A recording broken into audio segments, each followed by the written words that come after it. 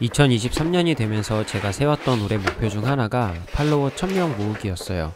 그런데 4월 27일 현재 팔로워 15만 명을 넘기면서 목표치의 150배 이상을 달성을 했습니다. 어떻게 1월 달에 500명 남짓이었던 팔로워가 2월 달에는 12만 명, 4월에는 15만 명이 될 수 있었는지 얘기해 보려고 합니다. 팔로워가 급격하게 늘어날 수 있었던 가장 결정적인 이유는 릴스 덕분입니다. 제가 1월에 카메라를 바꿨어요. 바꿀까 말까 고민하다가 에라 모르겠다 고 질러버렸는데 기존보다 업그레이드된 카메라 바디와 줌 렌즈가 생기니까 촬영하는 게 재미있더라고요.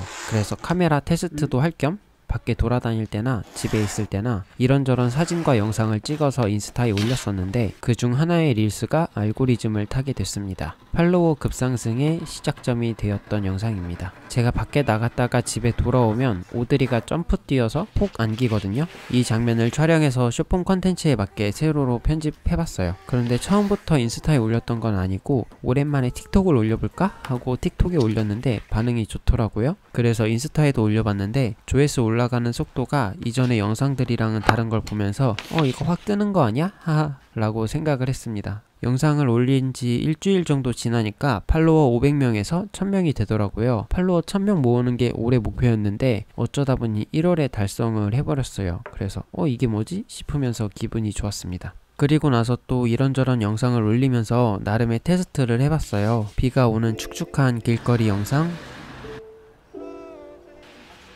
카페에서 잔잔하게 커피 내리는 영상,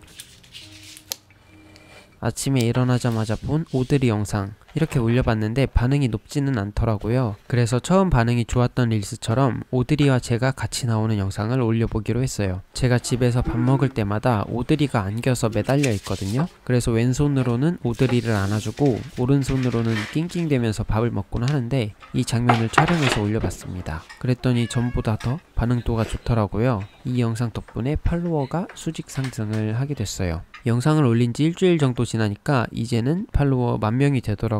9,999명에서 만 명이 되는 걸 눈으로 보고 싶어서 계속 새로 고침하면서 지켜봤습니다.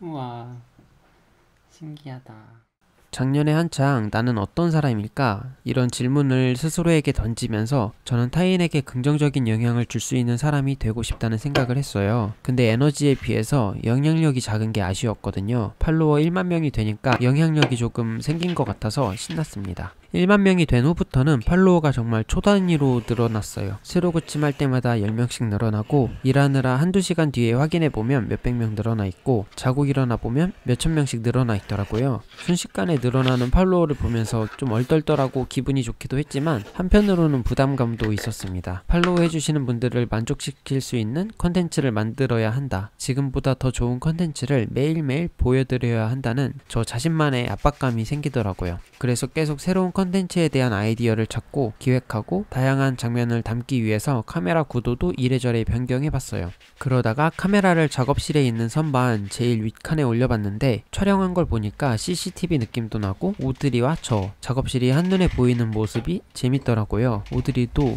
높은 곳에 올라가 있는 카메라가 신기한지 두 발로 서서 쳐다봤어요. 이 장면을 편집해서 올린 릴스가 또 큰 반응을 얻으면서 주춤하던 팔로워 상승도가 다시 올라갔어요. 이렇게 1월달에 올린 릴스 중 3개가 좋은 반응을 얻으면서 2월달에 13만 명이 넘는 팔로워가 생기게 되었습니다. 그런데 직접 눈으로 보고 경험하면서도 이런 경우가 있나 싶었어요. 주변에 TV 방송이나 예능 프로그램에 나가서 얼굴을 비친 분들도 계신데 이렇게 팔로워가 늘지는 않았거든요. 그래서 릴스 조회수가 100만 이상 나온 영상들을 찾아봤어요. 400만이나 800만 이상으로 저보다 더 높은 조회수가 나왔지만 팔로워는 그에 비례해서 늘지 않거나 1만 명이 되지 않으시는 분도 계시더라고요. 아, 내가 특이한 경우구나라는 걸 알았고, 그럼 어떤 점에서 이런 차이가 생겼을까 고민을 해봤습니다. 릴스의 확산을 통해서 팔로우까지 같이 늘 수 있었던 가장 큰 요인은 자신만의 톤으로 꾸준히 쌓아온 피드 콘텐츠라는 생각이 들었어요. 제가 작년 2022년 2월에 제 삶에서 몇 가지의 큰 변화를 주었어요. 2019년부터 3년 정도 운영해오던 유튜브 채널의 이름을 Made by 5에서 태기로 바꾸고 가죽공예 관련 콘텐츠에서 일상 브이로그로 바꾸고 1000명 넘는 팔로워가 있었던 가죽공예 인스타 계정을 포기하면서 팔로워 300명이던 제 개인 계정을 살려보기로 했거든요.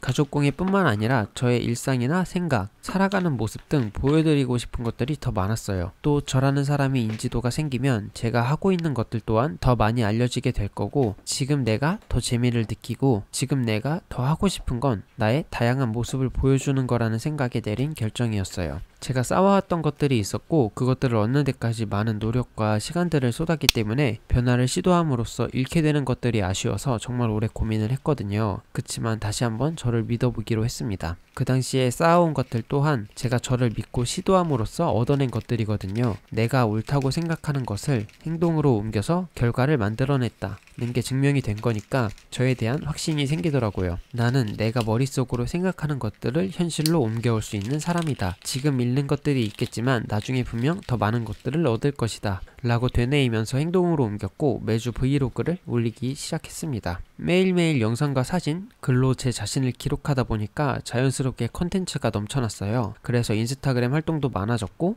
게시물을 올릴 때마다 잔잔한 저의 일상과 생각, 고민, 전하고 싶은 메시지들을 다듬으면서 올렸습니다. 지금 팔로우 해 주시는 분들의 대부분이 외국인 분들이신데 저의 컨텐츠를 보고 편안함을 느꼈다, 힐링이 됐다, 기분이 좋아졌다는 내용의 메시지들을 많이 보내주세요. 사용하는 언어나 현재 시간이나 주변 환경이 전혀 다름에도 저의 컨텐츠에 공감을 해주시는 게 너무 신기하고 감사하더라고요. 자신만의 톤과 이야기로 꾸준하게 쌓아온 피드 컨텐츠들이 있었기 때문에 릴스를 통해서 저를 알게 되신 분들이 저에게 흥미를 가지고 팔로우까지 하게 되지 않았을까 싶습니다. 작년에 결심을 하고 움직인 지 딱 1년쯤 되는 시점에 이런 결과들이 생기니까 아 마음먹었던 것들을 행동으로 성실하게 옮겨왔구나 라는 생각이 들고 뿌듯하더라고요. 사실 가장 큰 요인은 오드리 덕분이긴 합니다.